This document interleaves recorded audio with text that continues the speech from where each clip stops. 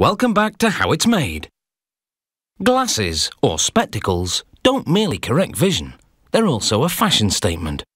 Whether you prefer plastic frames or metal ones, they come in so many different colours, sizes and shapes that you're guaranteed to find a pair to suit you. Metal frames come in a multitude of shapes, from ordinary to extraordinary. It all starts with a computerized system called a three-axis eye-winding machine. A set of rollers pulls metal wire from a spool. Then, with software-driven precision, the machine bends the wire into the shape of the frame, then cuts the end free.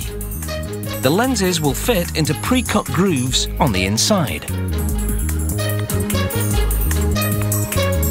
A small part called the insert connects the two ends of the eye frame, holding them closed around the lens.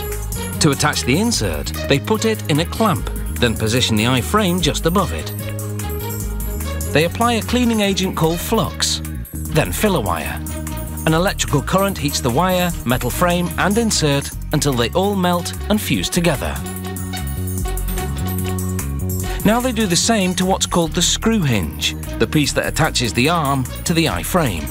Again, electrically generated heat fuses the hinge to the insert. This process, similar to soldering, is called brazing. Now for the bridge. A small press bends a piece of metal into shape. Then, a worker aligns it with the eye frames in an assembly jig. This ensures the frames are perfectly straight. Brazing again melds everything together.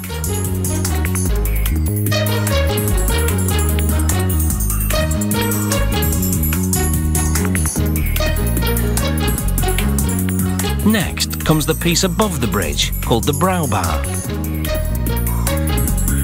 An automated machine cuts metal wire to pieces the right length, then carves grooves on the ends to enable the brow bar to fit snugly onto the top of the frames.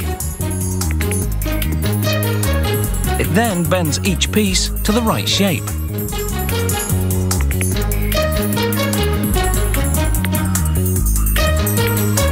The brow bar now goes into position. A little flux to remove any dust or dirt that might prevent the metal from fusing properly. Then they braze the brow bar to the frame.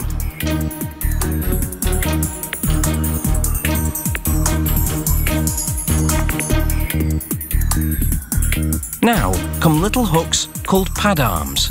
They hold small pads under the bridge that cushion your nose. A worker fuses the pad arms to the frames using the same brazing process as before.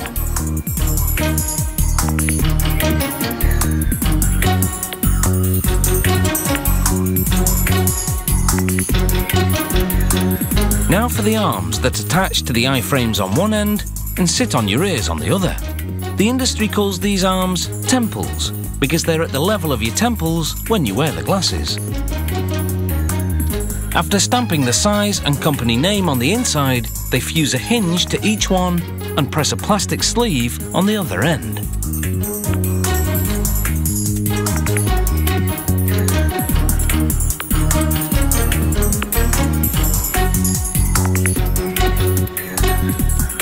They set the arms momentarily aside while they position the lenses in the groove of the eye frame.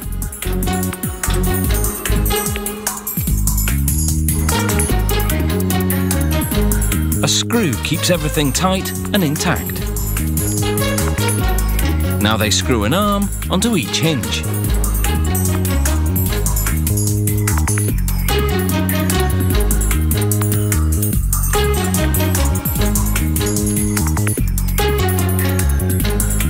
The arms on most models have curled ends that hook over the ears for a more secure and comfortable fit. A special machine called a mechanical cam applies pressure to bend the plastic sleeves to a 45 degree angle.